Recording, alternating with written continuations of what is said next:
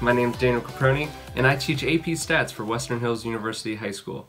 Today we are looking at day 21 of this series where we are going to jump into our next set of hypothesis tests. Now, so far we've covered one proportion z-test, two proportion z-test, and now we're going to start looking at z-tests that have to do with quantitative data. So we will no longer have to worry about proportions. We are moving into just when we have the actual mean and standard deviation of a given set of data.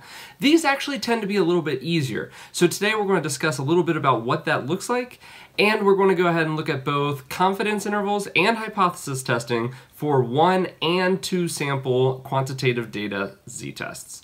So we're going to go through all of that. Now, if you're feeling like you don't know what a hypothesis test is or you're feeling lost or confused, you can always jump onto YouTube and you can find any of the videos from this series. All 21 of them will be in there and any future ones that will be coming out. So again, Thank you for being here today, and I hope you guys learn something new. So, with that said, let's start day 21 of AP Stats. So as I said, we're covering four different topics today. We're all working with quantitative data. We're going to do the one sample confidence interval, the two sample confidence interval, the one sample z-test, the two sample z-test, but here's the deal we're done with proportions. So all of this is going to be pretty straightforward. Because if you think about it, a lot of the slides that we went through on the uh, past videos have been things where we talk about like how do you find the standard error or the standard deviation or whatever of the uh, like all the old stuff that we were going through for proportions. But in this case, a lot of the time, the formulas are very simple, very easy to use because each question is going to give us a mean and standard deviation. And this is where, if you go way back to the sampling distribution chapter we did in chapter 17, we started talking a lot about the central limit theorem and how it says when you take samples, like what we've been dealing with, the middle of your sampling distribution ends up being your mean. And then you just go up or down, plus or minus the standard deviation to go each of the tally marks. All right. So there's nothing really super fancy about this. Then we end up finding out that um, once you change it into a sampling distribution instead of the norm, then I think you just divide that by the square root of your sample size, and that's the formula. There is no finding the mean or finding additional things like the p times q divided by n, take the square root, all those things. So much easier here. So we're going to do a lot of the exact same things we were doing before, but instead, now by using the central limit theorem, we're able just to kind of jump right into getting ready. And a lot of this process is going to be exactly the same as what we were doing before. Now, the name of the game here is population standard deviation. All right. So this is super, super important in this case. All right. So important that I'm going to draw little lines coming off of it. All right. So that you guys all can see how important this is. Population standard deviation is what defines a z test when it comes to them giving us quantitative data, there's going to be two major types of tests. We're either going to have t tests or z tests. We haven't covered anything about t tests yet. T tests are going to be our last two videos of this series, which will be the next two. But z tests are what we're already used to. It's where they give us the mean, they give us the standard deviation, and we just go, go, go, go, go. But in order for us to run a z test or a one or two sample confidence interval with z scores, you must be given the population standard deviation or population standard deviations for the two samples in order for this to work. All right. So anytime they give you the population standard deviation, it is almost guaranteed that we are dealing with a one or two sample z test. If you don't have the population standard deviation and you only have a standard deviation of the sample that we're using, that's when we're going to start moving into the t-test stuff, but we'll talk more about that later. So name of the game, population standard deviation, don't forget it, all right? Now, just to do some maintenance stuff here, I did already mention this, but remember the standard deviation that we would be using for these confidence intervals or for the uh, hypothesis testing is just the old, the original standard deviation divided by the square root of n. That means, like for example, for confidence intervals, we're going to be having the mean that they give us in the sample plus or minus our little z star times the standard deviation formula that you see up there. So nothing really fancy there. In this case, we don't have to like change it and say what's the mean because it's actually going to be the mean. Because we're dealing with what we're doing right now, the one or two sample, we're talking when we're doing something like measuring the heights of students or the average ACT score, or where we have a list of numbers that we can actually find a mean and standard deviation for, not something where they just give us a probability and we have to remember what the mean and standard deviation formulas are. So this is much, much easier. Um, we can jump right in. Remember, we're still going to use our calculator for this, so nothing fancy. Now, as always, we do have a list of assumptions and conditions to go by, and you guys have already seen these back when we did the sampling distribution chapter. But as always, we have the randomization condition. Randomization condition just says that they have to be random, so that's nothing new. The 10% condition is also the same. Uh, it says that when a sample is drawn without replacement, sample size n should be no more than 10% of the population. This is the one that's slightly different. We have success fail when we deal with proportions, but because there is no success or failure here, we don't really have that condition to go by. Instead, it just says using your central limit theorem uh, knowledge, you just need to have a sample size large enough that will make our distribution normal which remember usually means you want a sample size of like 30 or more, or if the original data was already normal, then you can have any size, all right? Now this one down here that I put is separate from the other three because this is the one that we use for our two sample stuff.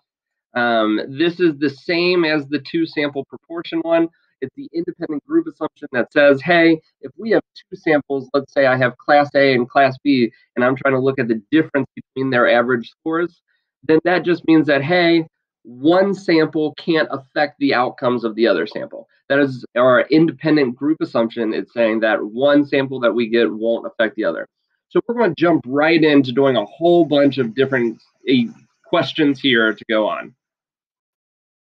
All right, so first thing we're going to look at is a confidence interval question. It says in a random sample of 60 refrigerators, the mean repair cost was $150 Assume the population standard deviation is $15.50. Construct a 99% confidence interval for the population mean repair cost. Interpret the results. Now, here's the deal. What's this question asking? It's asking for us to find a confidence interval, but of what? It's saying, hey, you're going to go out and look at all these refrigerators, and you're going to find out the average repair cost of your sample. And they want you to guess what would be the average repair cost for all refrigerators out there. Now, we don't know the answer exactly, so we're going to give a range because that's what a confidence interval is. And we'll say that with 99% confidence, we believe that the true repair cost of a refrigerator is going to fall in that range. So you could go through, check the conditions and whatnot, but we'll do all that when we do the hypothesis test practice. For right now, let's just go ahead and jump into doing the question. So first off, let's identify. This is what we call, you know, like white a little bit better on here. This is what we call a one sample Z, and in this case, it's confidence interval, but you could say it's technically like the Z test type things. But we are doing it for, um, what do you call it? Confidence intervals. All right. Now, with that said, how did I know it was a one sample? Because we have one sample in here. How do I know it has to deal with the Z, Z test? Because it says that we were given the population standard deviation. So remember, that's the key phrase we use here, population standard deviation. If we know the population standard deviation, we're dealing with a Z test, okay? Um, so you go through, all right, let's write down what things were given. We're told that N equals 60. Uh, we are told that the mean repair cost, so remember, because this is for a sample, we'll use X bar, not mu, um, that the sample mean was $150. We're told that the population standard deviation, so that's this guy, uh, is going to be $15.50. Now, technically, when your calculator is going to do all the work for us, it doesn't use this. It uses the standard deviation divided by the square root of n. But lucky for you, your calculator will do that, that whole computation for you. So you can just plug in the original data in your calculator and it will give you the confidence interval. Boom, bang, done. So let's go ahead and jump over to our calculator and plug in the information that it asked for. So remember, we use a TI Nspire for this class. If you have a different calculator, feel free to Google how you would do a Z test confidence interval on there, and I'm sure you'll be able to find it. It's available on the TI 83, 84, and so forth. But we're going to do it on the Nspire. We go to menu. We know that once we get to menu, we can go to option six. It has both our confidence intervals and our hypothesis test on there. We're in a hypothesis or a confidence interval for this question. Notice we are not at the two sample yet. We said there's only one. We're done with proportions. We've moved on past that. So our option is either the Z or T. I already told you guys today we are looking at the Z interval. So we're going to go ahead and hit that. This window will pop up asking you, do you want to do data or stats? Here's the deal. If they gave you a whole list of raw data, like literally just all the numbers where you didn't know the mean or standard deviation yet because you just had a list of numbers, you could put that list in the spreadsheet on this calculator and then input that list via the data option. But in this case, they didn't give us a list of the raw numbers. They gave us the statistics that went with it. They gave us the mean, the standard deviation, and so forth. So what we'll do is we'll click on stats. Whenever they give you the summary statistics like that, you want to use stats, not data. So we go ahead and we hit OK. Now it's just plugging and chugging. On here, we said that the standard deviation was 15.50. Notice it doesn't ask for the standard deviation divided by square root of n. It just asks for the standard deviation. So put in 15.50. That's standard deviation of a population. Um, it asks for your mean of the sample, which is 150. And it asks for our sample size, which was 60 refriger refrigerators. In terms of our confidence level, we actually are not using a 95. This question asks for a 99% confidence. level. So we go ahead, we hit OK, and look at that. It comes up with it all. It tells us the margin of error if we wanted it, but this question actually didn't even ask that. It just asked for a uh, confidence interval. So all we need is the lower and the upper bound. So if we were going to bring those over here, maybe I can, let's see, we'll copy that, and let's see if they will pop over onto our screen. Um, well, they did, but they're up there and hidden. There we go.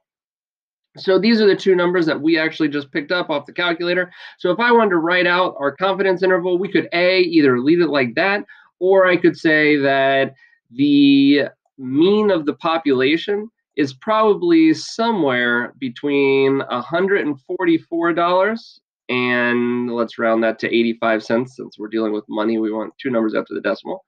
And the top side of that is going to be 155.15.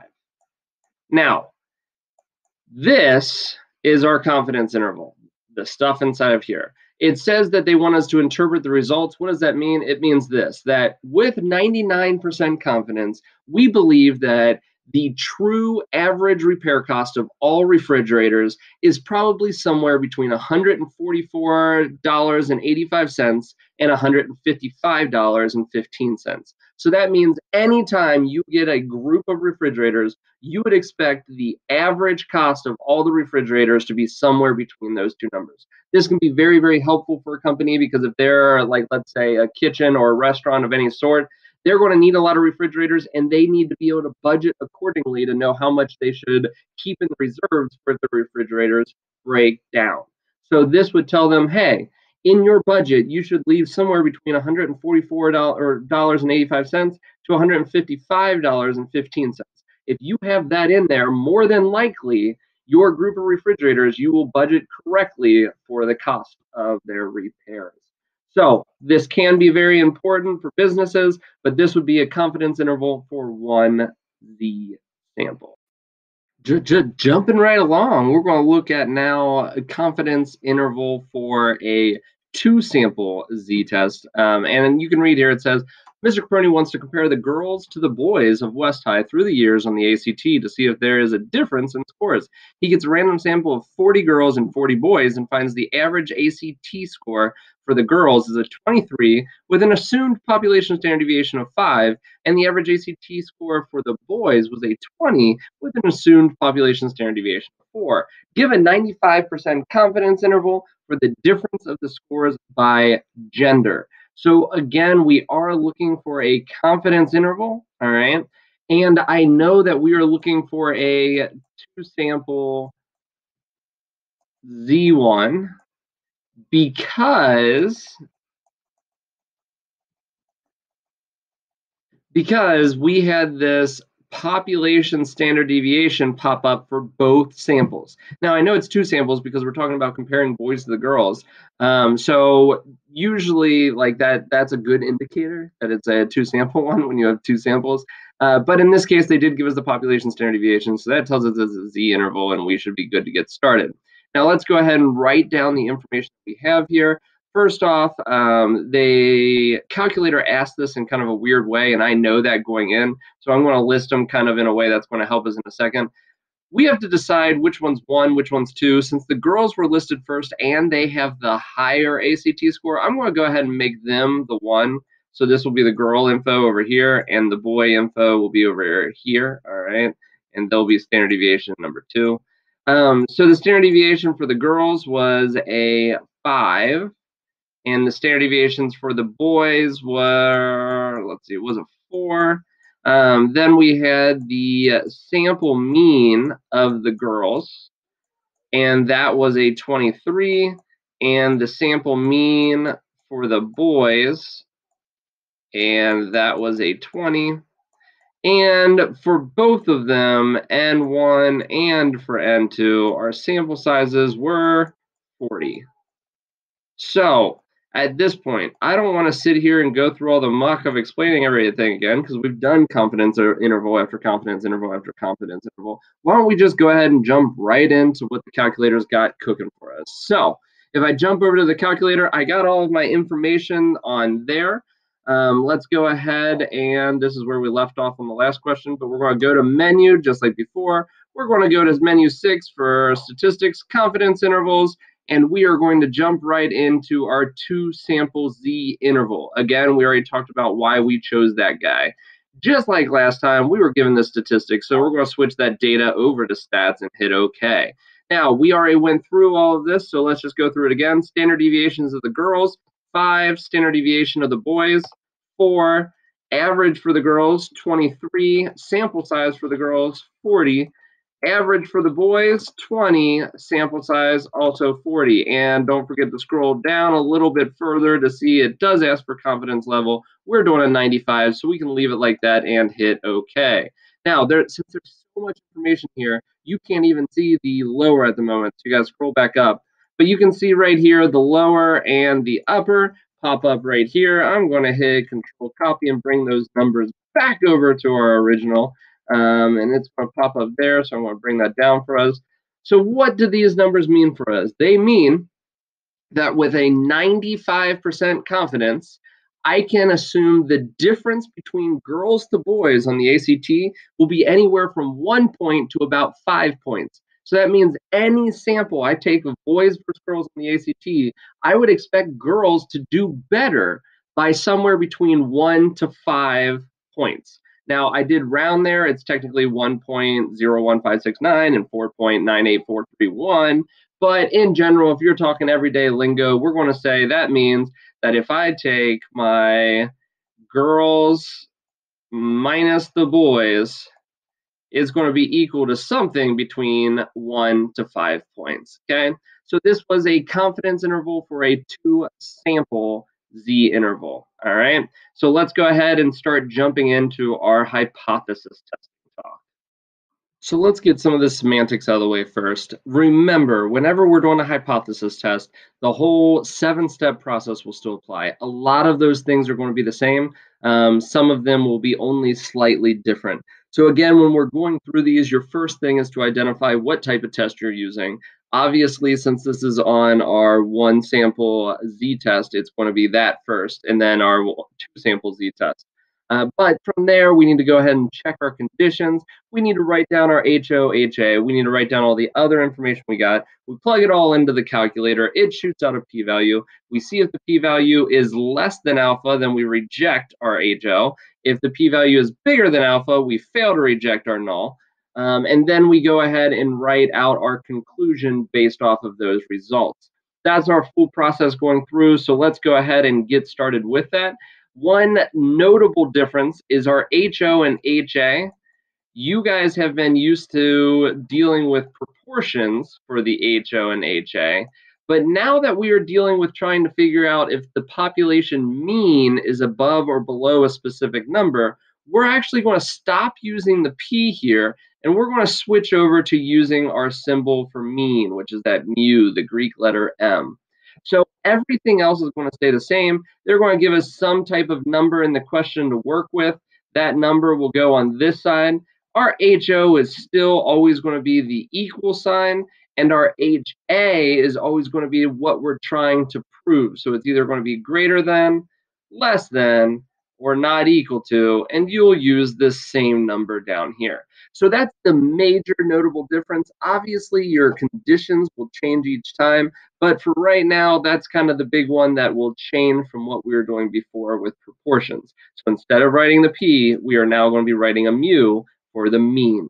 So let's go ahead and jump into our first question here. It says, in auto racing, a pit stop is where a racing vehicle stops for new tires, fuel, repairs, and other mechanical adjustments. The efficiency of a pit crew that makes these adjustments can affect the outcome of a race. A pit crew claims that its mean pit stop time for four new tires and fuels is less than 13 seconds. A random sample of 32 pit stop times have a sample mean of 12.9 seconds. Assume the population standard deviation is 0.19 second. Is there enough evidence to support the claim at alpha equals 0.01 using a p-value type situation? Now, starting off, there is only one sample in this, the one sample of 32. So that tells us we are dealing with a one sample test.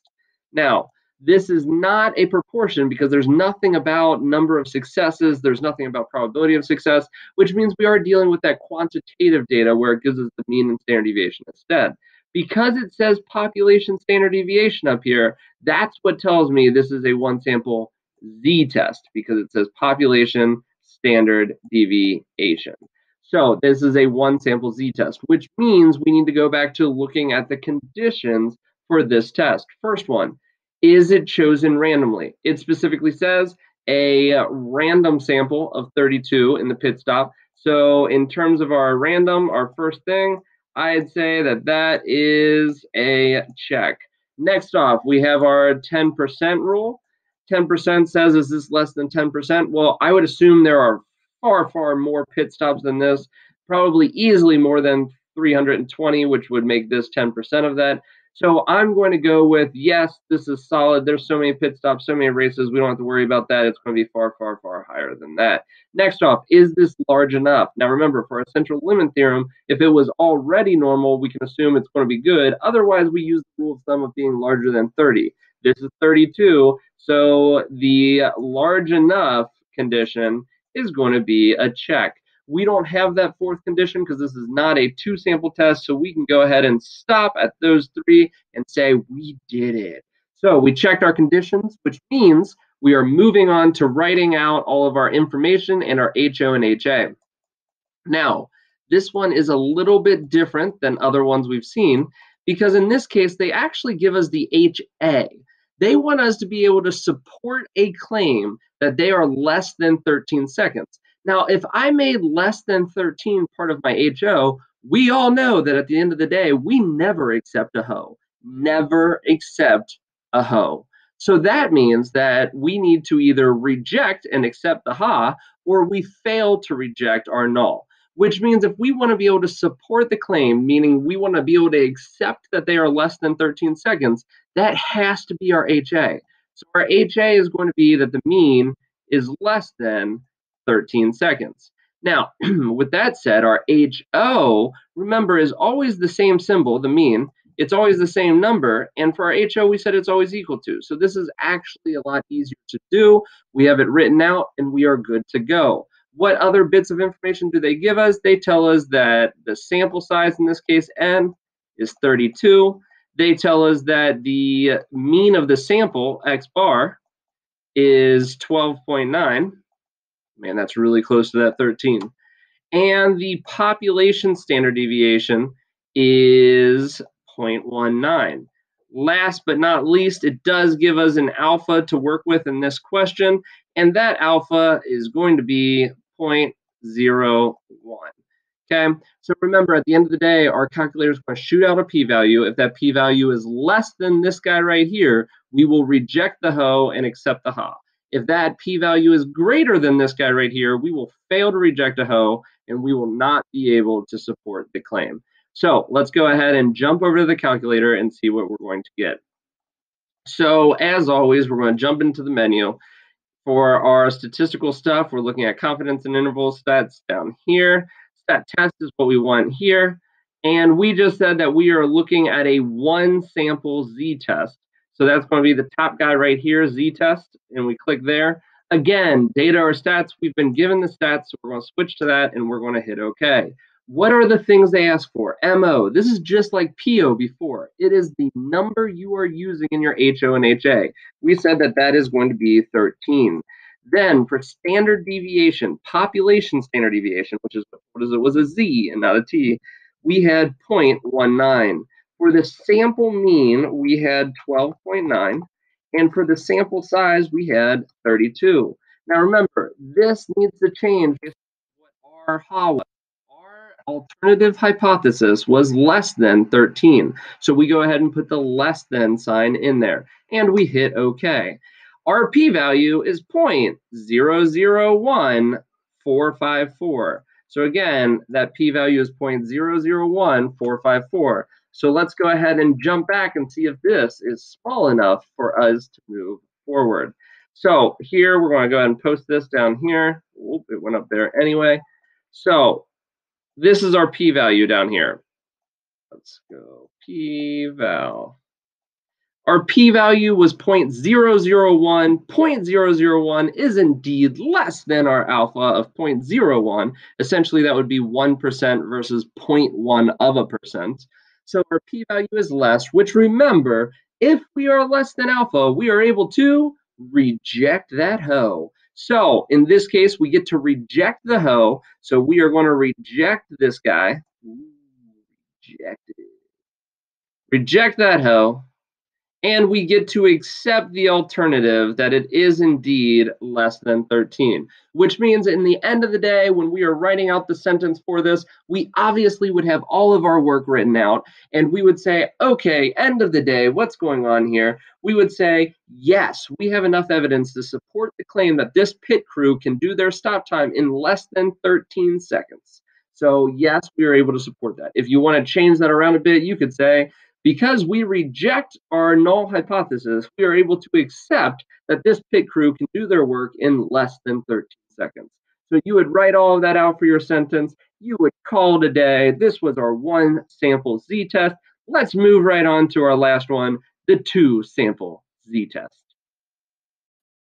Here we are in the fourth and final type of question we're looking at today. We've been crushing through it. I know you guys are ready. Are you ready? You don't have a choice because you're watching a video. So we're going to crush out this last one. It says to compare the amount spent in the first three months by clients of two meal replacement diets, a researcher randomly selects 20 clients of each diet. The mean amount spent for diet A is $643. The population standard deviation is $89.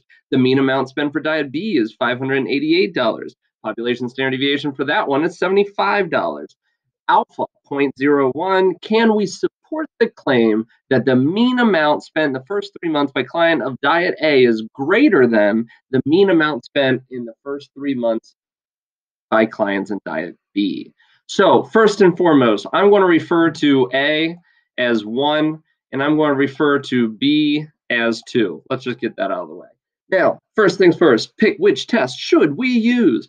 Obviously, there are two samples here. There is a diet A and there is a diet B. So that should not be rocket science. This is a two sample test. Now, again, it mentions the population standard deviation for each of the two diets, which means we are dealing with a Z test. If it did not say population, we would be concerned. But as of the moment, it says population standard deviation. That means we're dealing with a Z test. We have two samples we're moving into our conditions. First one, is it random? Well, here's the deal with random. It says that they randomly selected 20 clients for each diet. Check. Second one, is this one going to be fulfilling the what 10% rule? 10%. Is 20 people going to be more than 10%?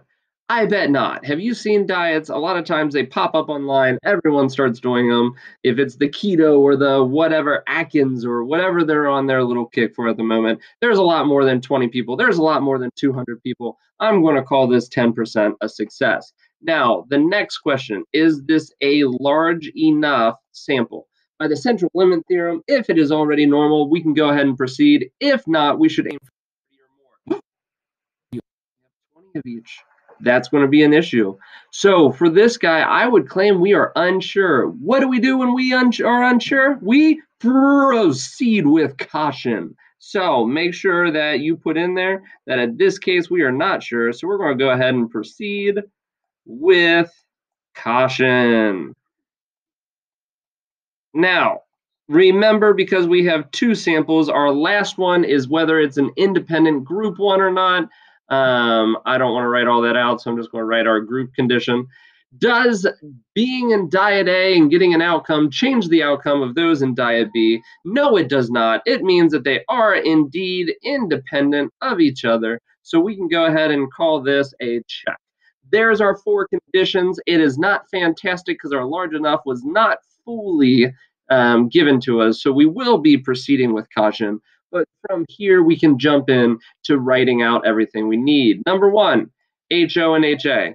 Here's the deal. In this case, just like the last question, we are trying to support a claim. So in other words, say that it is true. We can never, ever accept a HO, which means the diet A, R1, is greater than diet B, R2, must be our HA because that is what we are trying to support. So I would write that out by saying the mean of 1 is greater than the mean of 2. Now, technically, I could have went ahead and left that as the mean of A is greater than the mean of B, but I already clarified that those two things mean the same thing in the beginning. That way, I could use a consistent symbol for every time we do questions like this.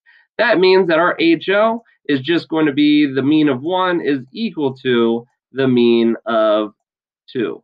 Now, just like before, sometimes this is written in a different way. You are capable of writing it as the mean of 1 minus the mean of 2 is equal to 0 because that's just moving this m2 to the other side. So you subtract it to the other side. And down here, it would be that the mean of 1 minus the mean of 2 is greater than 0. Now, again, this is usually the case when it says something like, is there a difference between the two of these? Do you want to show it's, that the difference is greater than zero? Do you want to show that there exists a difference between the two? By saying that the difference between them is equal to zero, that's an easy HO because it claims that there's no difference between the two. You can write it either one of these ways. One is not better than the other. The calculator tends to go on this one over here. So if you like that format, then go for it. So remember, we do have a bunch of other information here. First off, it says 20 clients of each diet, which means our N1 and our N2 are both going to be 20. Next off, it gives us the mean of our first guy was 643. It tells us that the standard deviation of the first guy was 89 it tells us that the mean of our second one was 588. And the standard deviation of our second one was 75. And last but not least, they do give us an alpha. That alpha is going to be 0.01. We're going to be doing this at a 1% level, okay? So level of significance, alpha 0.01. Remember, that is what we're going to be comparing our p-value to at this point, we have all of our information. We have our HOHA. We've checked our conditions. We've listed what sample type we're going to. It's time to plug it all in the calculator and get that p-value. So we're going to hop right on over here. As always, we'll go to the menu. We'll check out our statistics. This is a hypothesis test, so we want to make sure we are in the tests. We have two samples now, so we're going to look at that two sample z-test. As always, data or stats. We want stats. It didn't give us a raw list we're going to hit OK. First thing at once, standard deviation of the first group, which was 89, if we remember how we wrote it down. Standard deviation of the second group was 75. The mean of the first group, 643, The sample size for the first group, 20. The mean for the second group was 588. The uh, sample size for the second group was also 20. And down here at the bottom, it says, which of the three types did we use for our HA? In this case, we chose the greater than to go along with what the question was asking. We hit OK, it pops up with our stuff. You can see right here, we have our p-value and all the other information you would need for a question like this. I'm going to go ahead and copy that over and put it in our little document over here. Pull this down and let's compare that with our with our alpha. What's wrong here?